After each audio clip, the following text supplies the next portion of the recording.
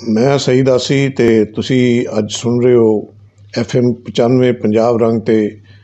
ਯੋਮੇ ਸ਼ੁਹਦਾਏ ਕਸ਼ਮੀਰ ਦੇ ਹਵਾਲੇ ਨਾਲ ਜਿਹੜਾ ਯੋਮੇ ਸਿਆਹ ਮਨਾਇਆ ਮਨਾਇਆ ਜਾ ਰਿਹਾ ਅੱਜ ਮੁਲਕ ਭਰ ਤੇ ਦੁਨੀਆ ਪੂਰੀ ਦੁਨੀਆ 'ਚ ਮਨਾਇਆ ਜਾ ਰਿਹਾ ਤੇ ਇਹਦੀ ਇੱਕ ਪੂਰੀ ਤਾਰੀਖ ਹੈਗੀ ਹੈ ਇਸ ਇਸ ਦਿਨ ਦੀ ਔਰ ਅੱਜ ਖਾਸ ਤੌਰ ਤੇ ਜਿਸ ਤਰ੍ਹਾਂ ਭਾਰਤ ਅ, ਕਸ਼ਮੀਰੀ ਆਵਾਮ ਤੇ ਮੁਜ਼ਾਲਮ ਢਾ ਰਿਹਾ ਹੈ ਔਰ ਜਿਸ ਤਰ੍ਹਾਂ ਉਹਨੇ ਕਸ਼ਮੀਰ ਤੇ ਆਪਣਾ ਗਾਸਬਾਨਾ ਤਸੱਲਤ ਜਮਾਇਆ ਪਿਛਲੇ ਸਾਲ 5 ਅਗਸਤ ਨੂੰ ਆਪਣੇ ਮਾਵਰਾਏ ਆਇਨ ਇਕਦਾਮ ਉਠਾ ਕੇ, ਜਿਸ ਤਰ੍ਹਾਂ ਉਹਨੇ ਕਸ਼ਮੀਰ ਤੇ ਕਬਜ਼ਾ ਕੀਤਾ, ਉਹਨੂੰ ਤਕਸੀਮ ਕੀਤਾ, ਉਹਨੂੰ ਭਾਰਤ ਦੇ ਵਿੱਚ ਜ਼ਮ ਕੀਤਾ, ਤੇ ਇਹਦੇ ਨਾਲ ਉਹ ਪੁਰਾਣੇ ਵਾਕਿਆਤ ਜਿਹੜੇ ਨੇ, ਜਿਸ ਤਰ੍ਹਾਂ ਕਸ਼ਮੀਰੀਆਂ ਤੇ ਮਜ਼ਾਲਮ ਤੋੜੇ ਗਏ ਸਨ, ਡੋਗਰਾ ਮਹਾਰਾਜ ਦੇ ਦੌਰ ਵਿੱਚ,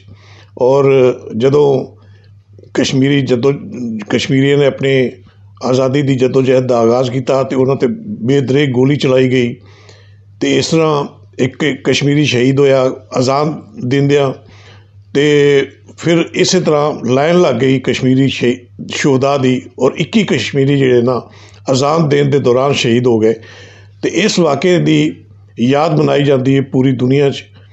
ਯੋਮੇ ਸਿਆਹ ਦੇ ਤੌਰ ਤੇ ਉਸ ਦਿਨ ਨੂੰ ਮਨਾਇਆ ਜਾਂਦਾ ਹੈ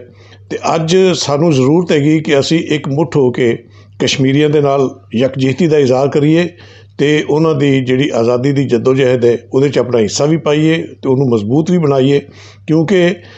ਹਿੰਦੂ ਸਾਮਰਾਜ ਜਿਹੜਾ ਹੈ, ਉਹ ਕਸ਼ਮੀਰ ਨੂੰ ਇਸ ਤਰ੍ਹਾਂ ਹੜਪ ਕਰਨ ਦੀ ਮਨਸੂਬਾਬੰਦੀ ਕਰਕੇ ਬੈਠਾ ਹੈ ਕਿ ਉਹਨੇ ਇੱਕ ਹਕਮਤ ਅਮਲੀ ਦੇ ਤਹਿਤ ਕਸ਼ਮੀਰ ਦੀ ਜਿਹੜੀ ਮੁਸਲਮਾਨਾਂ ਦੀ ਅਕਸਰੀਤੀ ਆਬਾਦੀ ਹੈ, ਉਹਨੂੰ ਅਕਲੀਅਤ ਵਿੱਚ ਤਬਦੀਲ ਕਰਨ ਦਾ ਇੱਕ ਫੈਸਲਾ ਕੀਤਾ ਹੈ, ਜਿਸ ਤੇ ਅਮਲ ਦਰਾਮਦ ਦਾ ਆਗਾਜ਼ ਵੀ ਹੋ ਚੁੱਕਿਆ ਹੋਇਆ ਹੈ। ਜਿਹਦੇ ਤਹਿਤ ਹਿੰਦੂਆਂ ਨੂੰ ਉੱਥੇ ਆਬਾਦ ਕੀਤਾ ਜਾ ਰਿਹਾ ਹੈ, ਹਿੰਦੂ ਪੰਡਤਾਂ ਨੂੰ ਉੱਥੇ ਆਬਾਦ ਕੀਤਾ ਜਾ ਰਿਹਾ ਹੈ ਤੇ ਕਸ਼ਮੀਰੀਆਂ ਦੀ ਜਿਹੜੀ ਮਤਰੂਕਾ ਜਿਹੜੀ ਜਾਇਦਾਦ ਹੈਗੀ ਹੈ, ਮਤਰੂਕਾ ਜਾਇਦਾਦ, ਉਹਦੇ ਤੇ ਹਿੰਦੂ, ਹਿੰਦੂਆਂ ਦਾ ਕਬਜ਼ਾ ਕਰਵਾਇਆ ਜਾ ਰਿਹਾ ਹੈ। ਇਸ ਤਰ੍ਹਾਂ ਉਹਨਾਂ ਦੀ ਸਾਜ਼ਿਸ਼ ਹੈ ਕਿ ਕਸ਼ਮੀਰੀ ਜਿਹੜੇ ਅਕਲੀਅਤ 'ਚ ਹੋ ਜਾਣਗੇ ਮੁਸਲਮਾਨ ਹਿੰਦੂ ਅਕਸਰੀਅਤ 'ਚ ਹੋ ਜਾਣਗੇ ਤੇ ਇਸ ਤਰ੍ਹਾਂ ਜਿਹੜੀ ਅਕਵਾਮ ਮੁਤੱਹਿਦਾ ਦੀ ਕਰਾਰਦਾਦ ਹੈ ਉਹਨੂੰ ਨਾਕਾਮ ਬਣਾਇਆ ਜਾਏਗਾ ਜਿਹਦੇ ਤਹਿਤ ਕਸ਼ਮੀਰੀਆਂ ਨੂੰ ਹੱਕ ਦਿੱਤਾ ਗਿਆ ਹੈ ਕਿ ਉਹ ਇਸ ਤਸਵਾਬ ਦੇ ਜ਼ਰੀਏ ਆਪਣੇ ਮੁਸਤਕਬਲ ਦਾ ਫੈਸਲਾ ਕਰਨ ਅਗਰ ਹਿੰਦੂ ਉੱਥੇ ਅਕਸਰੀਅਤ 'ਚ ਹੋ ਜਾਣਗੇ ਤੇ ਫਿਰ ਇਸਤਸਵਾਬ ਜਿਹੜਾ ਹੋਏਗਾ ਉਹ ਫਿਰ